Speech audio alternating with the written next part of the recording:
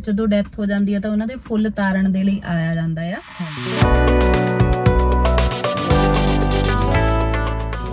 Sat Sri Akal ji welcome to our YouTube channel ਜਿਹਦਾ ਨਾਮ ਹੈ ਅਮਨ ਜਸ ਵਲੌਗ ਤੇ ਅਸੀਂ ਆ ਗਏ ਇੱਕ ਨਵੇਂ ਵਲੌਗ ਦੇ ਨਾਲ। ਤੇ ਸਾਡੀ ਜਿਹੜੀ ਇਹ ਹੈਗੀ ਆ ਨਾ ਟੈਗਲਾਈਨ ਇਹ ਜਦੋਂ ਤੱਕ ਅਸੀਂ ਬੋਲ ਨਾ ਲਈਏ ਉਦੋਂ ਤੱਕ ਨਾ ਵਲੌਗ ਸ਼ੁਰੂ ਕਰਨ ਦਾ ਮਜ਼ਾ ਨਹੀਂ ਆਉਂਦਾ। ਤੇ ਵਲੌਗ ਵੀ ਅਧੂਰਾ ਹੀ ਹੈ। ਅਧੂਰਾ ਹੀ ਆ ਹਨਾ?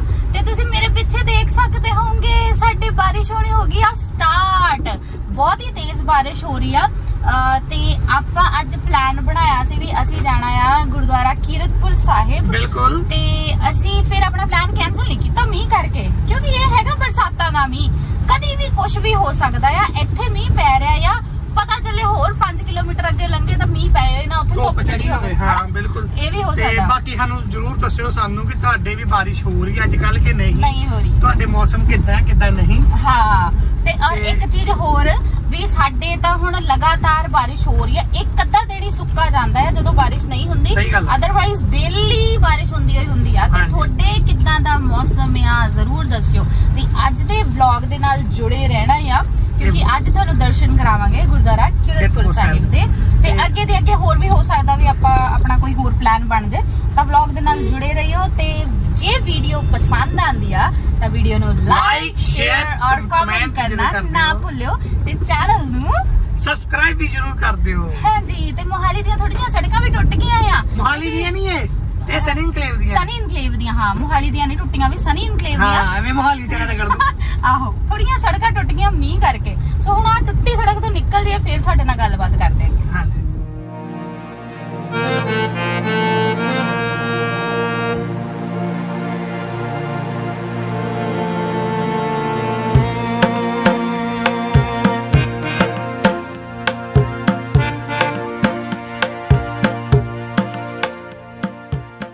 ਹਾਂਜੀ ਜੀ ਆਪਾਂ ਕਿਰਤਪੁਰ ਸਾਹਿਬ ਆ ਗਏ ਸੀਗੇ ਤੇ ਮੌਸਮ ਬਹੁਤ ਹੀ ਅੱਜ ਘੈਂਟ ਹੋ ਗਿਆ।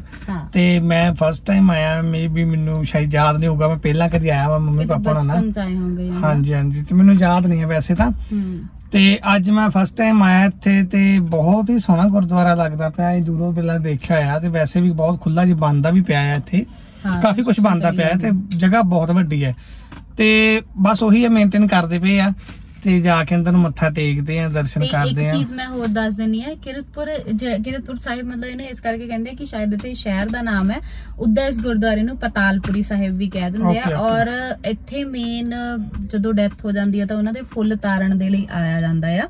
ਵੈਸੇ ਵੀ ਲੋਕ ਬਹੁਤ ਮੱਥਾ ਟੇਕਣ ਆਉਂਦੇ ਆ ਜਿੱਦਾਂ ਜਿਹੜੇ ਲੋਕ ਅਨੰਦਪੁਰ ਸਾਹਿਬ ਆਉਂਦੇ ਆ ਤਾਂ ਉਹ ਇੱਥੇ ਵੀ ਮੱਥਾ ਟੇਕ ਕੇ ਹੀ ਜਾਂਦੇ ਆ। Okay okay. ਤੇ ਮੇਨ ਇਹੀ ਗੁਰਦੁਆਰਾ ਨਾਮ ਹੈ ਨਾ? ਹਾਂਜੀ। ਠੀਕ ਹੈ ਜੀ ਅੱਜ ਮੱਥਾ ਟੇਕਦੇ ਆ ਫਸਟ ਟਾਈਮ ਆਏ ਆ। ਤੇ ਦੋਨਾਂ ਨੇ ਇਕੱਠੇ ਮੱਥਾ ਟੇਕਦੇ ਆ। ਤੇ ਤੁਹਾਨੂੰ ਵੀ ਨਾਲ ਦਰਸ਼ਨ ਕਰਵਾਉਂਦੇ ਆ। ਆਜੋ ਚਲੀਏ।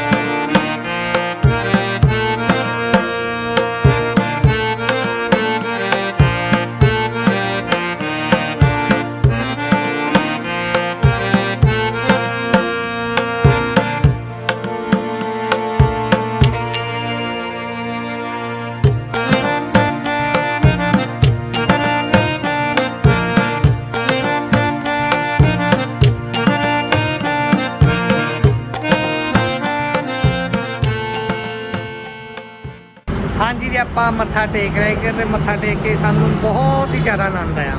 ਸ਼ਾਂਤੀ ਦੀ ਮਿਲੀ ਹੈ ਨਾ? ਤੇ। ਮੱਥਾ ਟੇਕਣ ਤੋਂ ਬਾਅਦ ਅਸੀਂ ਆ ਗਏ ਹੈਗੇ ਆ ਪੁਲ ਦੇ ਥੱਲੇ।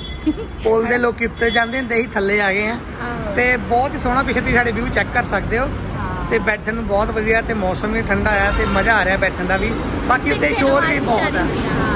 ਬਹੁਤ ਆਵਾਜ਼ ਆ ਪਿੱਛੇ ਕਿਉਂਕਿ ਸਾਡੇ ਉੱਪਰ ਨਾ ਲੋਹੇ ਦਾ ਪੁਲ ਬਣਿਆ ਹੋਇਆ ਪਰ ਉਦਾਂ ਤਾਂ ਥੱਲੇ ਉਹ ਸੀਮੈਂਟ ਸੁਮੈਂਟ ਵੀ ਆ ਉਹ ਤੋਂ ਨੀਚੇ ਲੋਹੇ ਦਾ ਪੂਰਾ ਸਟੈਂਡ ਜਿਹਾ। ਬਣਾਇਆ ਇਹਨਾਂ ਨੇ ਨਾ ਸੋਹਣਾ ਪੁਲ ਆ ਉਹਦੇ ਕਰਕੇ ਆਵਾਜ਼ ਜ਼ਿਆਦਾ ਆ ਇੱਥੇ ਬਾਕੀ ਇਹੀ ਉੱਚਾ ਬੋਲਦੇ ਮਜ਼ਾ ਪਏ ਆ ਆ ਰਿਹਾ। ਤੁਹਾਨੂੰ। ਸੁਣੂਗਾ ਵੀ ਪ੍ਰੋਪਰ।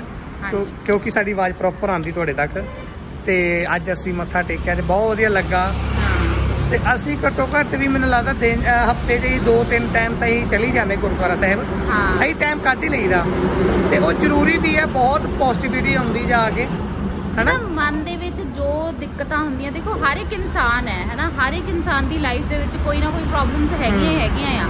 ਸੋ ਜਦੋਂ ਆਪਾਂ ਗੁਰਦੁਆਰੇ ਚਲੇ ਜਾਈਦਾ ਆ ਜਾਂ ਕਿਤੇ ਵੀ ਸ਼ਾਂਤੀ ਵਾਲੀ ਜਗ੍ਹਾ ਤੇ ਜਾਈਏ ਹਨਾ? ਉੱਥੇ ਜਾ ਕੇ ਨਾ ਫਿਰ ਐਦਾਂ ਫੀਲ ਹੁੰਦਾ ਵੀ ਸਾਰੇ ਦੁੱਖ ਦਰਦ ਭੁੱਲ ਗਿਆ। ਔਰ ਸਪੈਸ਼ਲੀ ਨਾ ਸਾਡੇ ਦੋਨਾਂ ਦਾ ਇੱਕ ਨੇਚਰ ਆ ਵੀ ਜਦੋਂ ਆਪਾਂ ਨਾ ਕਿਸੇ ਅਪਾਹਿਜ ਨੂੰ ਦੇਖਦੇ ਆ, ਹਨਾ, ਜਾਂ ਜਿਹੜਾ ਵਿਚਾਰਾ ਵੈਸੇ ਦਿਮਾਗ ਤੋਂ ਥੋੜਾ ਜਿਹਾ ਹੁੰਦਾ ਤਾਂ ਉਹਨੂੰ ਦੇਖ ਕੇ ਹਮੇਸ਼ਾ ਆਪਣੇ ਆਪ ਨੂੰ ਬੂਸਟ ਅਪ ਕਰੀਦਾ ਹਨਾ? ਕਈ ਵਾਰੀ ਹੁੰਦਾ ਆ ਵੀ ਸਾਨੂੰ ਲਾਈਫ ਦੇ ਵਿੱਚ ਫੇਲਿਅਰਸ ਬਹੁਤ ਮਿਲੇ ਹੁੰਦੇ ਆ ਹਨਾ। ਤੇ ਆਪਾਂ ਐਦਾਂ ਸੋਚਦੇ ਰਹਿੰਦੇ ਲੈ ਫੇਲਿਅਰਸ ਹੀ ਆਈ ਜਾਂਦੇ ਫੇਲਿਅਰਸ ਹੀ ਆਈ ਜਾਂਦੇ ਆ। ਫਿਰ ਅਸੀਂ ਉਹਨਾਂ ਲੋਕਾਂ ਨੂੰ ਦੇਖੀਦਾ ਆ ਜਿਨ੍ਹਾਂ ਕੋਲ ਹੱਥ ਪੈਰ ਨਹੀਂ ਹੈਗੇ ਜਾਂ ਫਿਰ ਜਿਨ੍ਹਾਂ ਕੋਲ ਦਿਮਾਗ ਘੱਟ ਆ ਉਹ ਵੀ ਤਾਂ ਦੁਨੀਆ ਤੇ ਜਿੰਦੇ ਆ ਉਹਨਾਂ ਨੂੰ ਜਦੋਂ ਆਪਾਂ ਦੇਖਾਂਗੇ ਨਾ ਤੇ ਇੱਕ ਅਲੱਗ ਜੀ ਮੋਟੀਵੇਸ਼ਨ ਮਿਲਦੀ ਆ। ਤੁਸੀਂ ਵੀ ਜੇ ਤੁਹਾਡੀ ਲਾਈਫ ਦੇ ਵਿੱਚ ਕੁਝ ਐਦਾਂ ਦਾ ਹੈਗਾ ਆ ਨਾ, ਤਾਂ ਕਦੀ ਉਹਨਾਂ ਨੂੰ ਧਿਆਨ ਨਾਲ ਦੇਖ ਕੇ ਦੇਖਿਓ। ਧਿਆਨ ਨਾਲ ਉਹਨਾਂ ਬਾਰੇ ਸੋਚਿਓ। ਤੁਸੀਂ ਆਪਣੇ ਆਪ ਨੂੰ ਇੰਨਾ ਕੁ ਅਮੀਰ ਔਰ ਆਪਣੇ ਆਪ ਨੂੰ ਇੰਨਾ ਕੁ ਜ਼ਿਆਦਾ ਵਧੀਆ ਫੀਲ ਕਰੋਗੇ ਨਾ ਵੀ ਰਹੇ ਰੱਬ ਦਾ ਨਾਮ ਕਿ ਨਹੀਂ? ਸਹੀ ਗੱਲ ਆ ਤੇ ਬਾਕੀ ਗੁਰੂ ਘਰੇ ਜ਼ਰੂਰ ਜਾਇਆ ਕਰੋ ਉਹਨੇ ਸੱਚੇ ਪਾਤਸ਼ਾਹ ਨੇ ਜੇ ਤੁਹਾਨੂੰ ਜਨਮ ਦਿੱਤਾ ਉਹਨੇ ਕੋ ਸੋਚ ਸਮਝ ਕੇ ਦਿੱਤਾ ਹੈ। ਉਹਨੇ ਤੁਹਾਡਾ ਅੱਗੇ ਪਿਛਲਾ ਸਾਰਾ ਕੁਝ ਸੋਚਿਆ ਹੁੰਦਾ ਤੁਸੀਂ ਕੋਈ ਨਹੀਂ ਹੁੰਦੇ ਤੁਸੀਂ ਆਪਣੇ ਚੰਗੇ ਕਰਮ ਕਰੋ। ਉਹ ਸੱਚੇ ਪਾਤਸ਼ਾਹ ਨੇ ਤੁਹਾਨੂੰ ਸਭ ਕੁਝ ਤੁਹਾਡੇ ਬਾਰੇ ਸੋਚਿਆ ਹੁੰਦਾ ਹੈ ਸ਼ੁਰੂ ਤੋਂ ਲੈ ਕੇ ਐਂਡ ਤੱਕ। ਉਹ ਕਹਿੰਦੇ ਆ ਨਾ ਵੀ ਸਾਨੂੰ ਸਿਰਫ ਜਾਂ ਸਾਡੇ ਪੇਰੈਂਟਸ ਨੂੰ ਸਿਰਫ ਇਹ ਪਤਾ ਆ ਵੀ ਅਸੀਂ ਪੈਦਾ ਕਦੋਂ ਹੋਣਾ ਆ ਹਨਾ।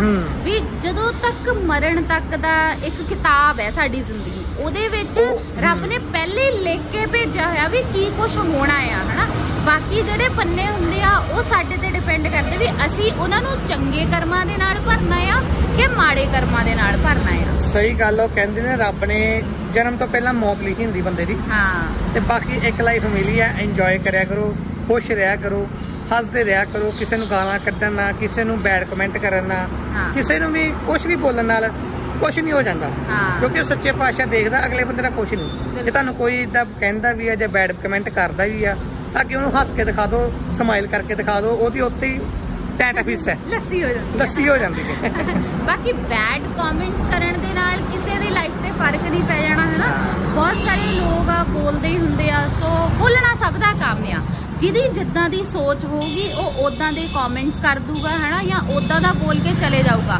ਕਿਸੇ ਦੀ ਲਾਈਫ 'ਚ ਕੋਈ ਫ਼ਰਕ ਨਹੀਂ ਪੈਣਾ ਹੈਗਾ। ਬਸ ਜਦੋਂ ਆਪਾਂ ਥੋੜੇ ਜਿਹੇ ਵੀਕ ਹੁੰਨੇ ਆ ਫਿਰ ਆਪਾਂ ਉਹ ਚੀਜ਼ਾਂ ਨੂੰ ਆਪਣੇ ਤੇ ਹਾਵੀ ਕਰ ਲੈਂਦੇ ਆ ਪਰ ਬਿਲਕੁਲ। ਕਰਨਾ ਨਹੀਂ ਚਾਹੀਦਾ। ਬਾਕੀ ਜੇ ਤੁਸੀਂ ਨੈਗੇਟਿਵ ਹੁੰਦੇ ਹੋ ਸਾਡੀ ਵੀਡੀਓ ਜ਼ਰੂਰ ਦੇਖਿਆ ਕਰੋ। ਹੱਸਦੇ ਰਿਹਾ ਕਰੋ। ਪੋਜ਼ਿਟਿਵ ਥਾਟਸ ਲੈ ਕੇ ਆਇਆ ਕਰਾਂਗੇ। ਬਿਲਕੁਲ।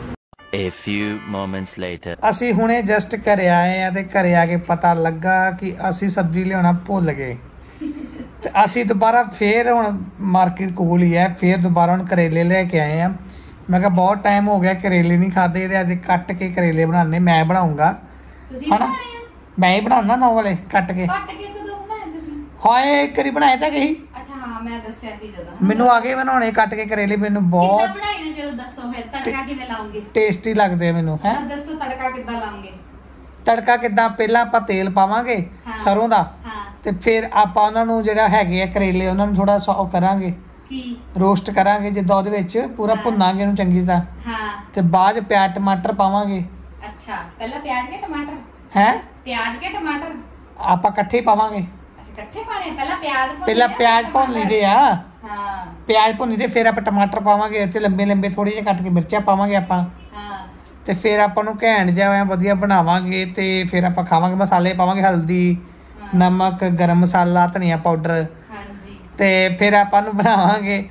ਤੇ ਮਤਲਬ ਕੀ ਆਂਦੇ ਆ ਫੇ ਕਰੇਲੇ ਬਣਾਣੇ ਆਂਦੇ ਆ ਇਹ 'ਚ ਕਿਹੜੀ ਗੱਲ? ਸਾਰੀ ਸਬਜ਼ੀਆਂ ਮੈਂ ਬਣਾਉਂਦਾ ਹੀ ਆ। ਸਿੱਖ ਗਏ ਵੈਸੇ ਦੇਖੋ ਹਨਾ ਮੈਂ ਸਿਖਾ ਸਿੱਖ ਦਿੱਤਾ ਗਿਆ। ਬਾਕੀ। ਸਿੱਖਣੇ ਵੀ ਚਾਹੀਦੇ ਆ। ਵੇਖੋ ਆਪਣੇ ਘਰ 'ਚ ਕੰਮ ਧੰਦੇ ਕਰਨੇ ਚਾਹੀਦੇ ਬੰਦੇ ਨੂੰ। ਤੇ ਬਾਕੀ ਗੱਲ ਇਦਾਂ ਆ ਕਿ ਹੁਣ ਟਾਈਮ 8 ਵੱਜ ਗਿਆ ਹੁਣ ਅਸੀਂ ਰੋਟੀ ਪਾਣੀ ਬਣਾਵਾਂਗੇ ਤੇ ਰੋਟੀ ਪਾਣੀ ਖਾਵਾਂਗੇ ਤੇ ਵਲੌਗ ਐਡਿਟ ਕਰਾਂਗੇ ਤੇ ਕੱਲ ਦਾ ਫਿਰ ਸੋਚਾਂਗੇ ਕਿੱਦਾਂ ਕੀ ਹਿਸਾਬ ਆ। ਤੇ ਸਾਨੂੰ ਇੱਕ ਕਮੈਂਟ ਆਇਆ ਸੀਗਾ ਹਨਾ? ਉਹਨਾਂ ਦਾ ਮੈਨੂੰ ਨਾਮ ਨਹੀਂ ਯਾਦ ਆ ਰਿਹਾ ਹੁਣ ਮੈਂ ਤੁਹਾਨੂੰ ਵੇਖ ਕੇ ਦੱਸ ਦਿੰਦਾ। ਤੁਸੀਂ ਮੇਰਾ ਫੋਨ ਦਿਓਗੇ? ਤੁਹਾਡਾ ਫੋਨ ਤੁਹਾਡੇ ਕੋਲ ਹੀ ਤਾਂ ਹੈ। ਦਿਓ ਇੱਕ ਮਿੰਟ। ਐ ਸ਼ਾਹੀ। ਸ਼ਾਹੀ ਸ਼ਾਹੀ। ਸ਼ਾਹੀ ਤਰੀਕੇ ਨਾਲ ਬੰਦੇ ਨੂੰ ਰਹਿਣਾ ਪੈਂਦਾ। ਤਰੀਕੇ ਨਾਲ ਹੈ। ਕੋਲ ਪਿਆ ਫੋਨ ਵੀ ਮੇਰੇ ਤੋਂ ਫੜਨਾ ਤੇ ਹੈ। ਆਪਾਂ ਉਹਨਾਂ ਨੂੰ ਰਿਪਲਾਈ ਅਜੇ ਨਹੀਂ ਕੀ ਕਰਿਆ ਹੈਗਾ ਕਿ ਅੱਜ ਹੀ ਬਲੌਗ ਦੇ ਵਿੱਚ ਕਮੈਂਟ ਆਇਆ ਹੈਗਾ। ਤੇ ਆਪਾਂ ਉਹਨਾਂ ਨੂੰ ਦਿੰਨੇ ਆ ਰਿਪਲਾਈ ਮਤਲਬ ਕਿ ਕੱਲ ਕੱਲ ਵਾਲੇ ਬਲੌਗ 'ਚ। ਰੁਪਿੰਦਰ ਚੀਮਾ 3417 ਜੀ ਦਾ ਕਮੈਂਟ ਆਏਗਾ। ਮੇਰੇ ਬੇਟੇ ਦਾ ਨਾਮ ਆ ਚੀਮਾ ਲੈ ਦਿਓ ਪਲੀਜ਼ ਹਾਂਜੀ ਅਸੀਂ ਲੈਤਾ ਜੀ ਚੀਮਾ। ਚੀਮਾ ਜੀ। ਚੀਮਾ ਜੀ ਨੂੰ ਸਾਡੇ ਵੱਲੋਂ ਬੈਸਟ ਵਿਸ਼ੇਸ Best wishes। ਰਾਤ ਚੌਗਣੀ ਤਰੱਕੀ ਕਰਨ ਵੀ ਬਸ ਇਹੀ ਇਹੀ ਦੁਆ ਮੰਗਦੇ ਸਾਰਿਆਂ ਦੇ ਲਈ ਕਿ ਸਾਰੇ ਤਰੱਕੀ ਕਰੋ ਤੇ ਜੁਗ ਜੁਗ ਜਿਓ। ਬਾਕੀ ਹੁਣ ਆਪਾਂ ਬਣਾਈਏ ਸਬਜੀ? ਹਾਂਜੀ। ਮੈਂ ਤੜਕਾ। ਮੈਂ ਲਾਉਣਾ ਤੜਕਾ ਮੈਂ ਥੱਕ ਵੀ ਗਿਆ ਆਟਾ ਮੈਂ ਗੁੰਨੂਗਾ। ਬਾਕੀ ਜੇ ਤੁਸੀਂ। ਸਾਡੇ ਸਾਡੇ ਵਲੌਗ ਨਹੀਂ ਦੇਖੇ ਨਾ ਪੁਰਾਣੇ ਸਾਰੇ ਜਾ ਕੇ ਕਰੀ ਦੇਖੋ ਜਰੂਰ ਦੇਖੋ।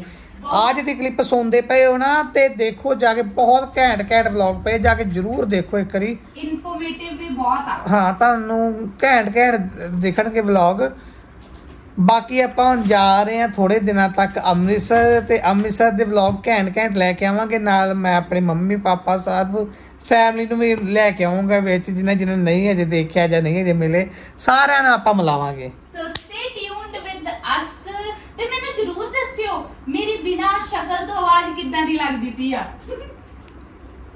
ਤੇ ਬਾਕੀ ਆਪਾਂ ਅੱਜ ਦੇ ਵਲੌਗ ਨੂੰ ਲਾਈਕ ਸ਼ੇਅਰ ਕਮੈਂਟ ਕਰ ਦਿਓ ਚੈਨਲ ਨੂੰ। ਸਬਸਕ੍ਰਾਈਬ ਵੀ। ਬਾਕੀ ਜਿਹੜਾ ਇਹਨਾਂ ਨੇ ਬਣਾਇਆ ਉਹਨੂੰ ਇਗਨੋਰ ਕਰਿਓ। ਆਪਾਂ ਮਿਲਦੇ ਹਾਂ ਨੈਕਸਟ ਵਲੌਗ ਦੇ, ਉਦੋਂ ਤੱਕ ਲਈ bye bye and take care